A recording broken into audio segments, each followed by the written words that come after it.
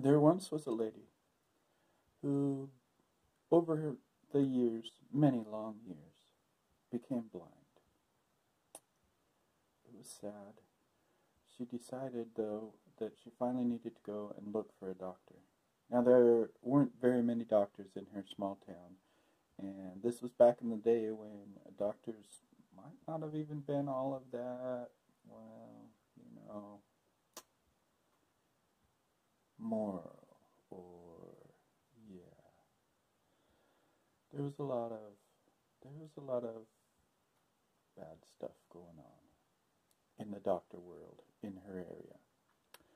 But uh, quacks, that's what they're called. There's a lot of quackery going on, and she did finally find a few people that said, well, I don't really know too much about him, but he does seem to do pretty good with this uh, poultice for your eyes, like this stuff that you put on your eyes, and maybe that'll help, maybe it won't, who knows. And so uh, she sent for him, and he came to her house and realized immediately that she was pretty old and probably pretty poor.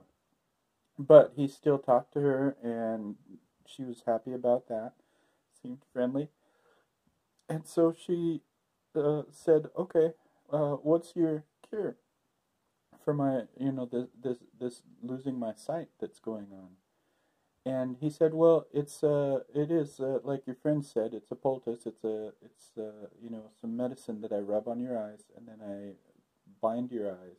You know, put them under a band. You know, wrap them in a bandage for uh, a week, and then I'll come and change that out for a few weeks, and uh, yeah, and then that'll work." And she says, "Well, how do I know?"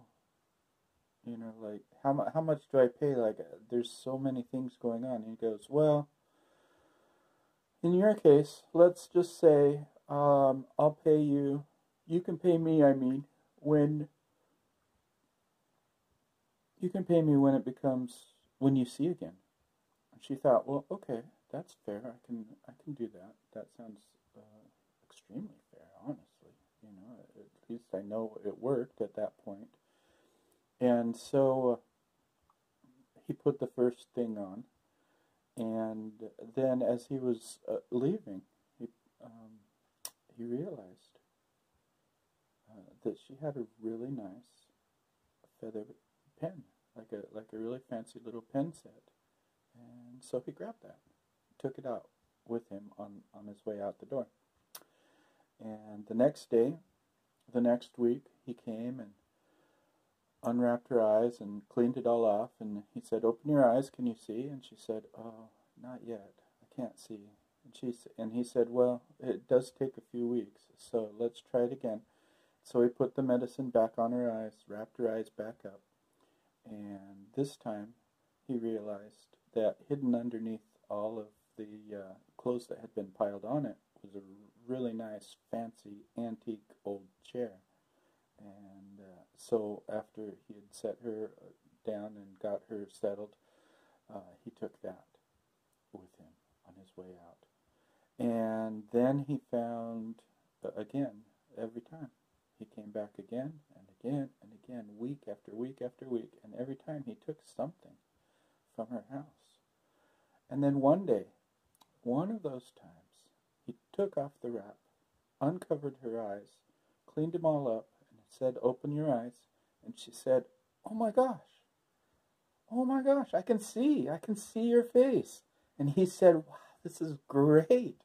This is great. All right. Well, uh, it's cured. Then I'll send you the bill. And he sent her a bill, and she ignored it. She didn't pay it. She didn't do anything. And he sent her, you know, the second one, the second bill, the second bill, and finally, finally, uh, she just wouldn't pay the bill at all. And finally, he came, you know, to her and said, "You have to pay the bill. You have to pay the bill." She's like, "I'm not going to pay the bill." And he goes, "Well, why not? That was our agreement." And she said, "You said I would be able to. See. You said I would pay when I could see." And he was right there in the house, and he goes, "Well, What are you talking about? You could see. You told me that day you saw my face. She goes, Well, yeah, but as I look around my house, I don't see any of my stuff. So something's wrong. And so she didn't pay.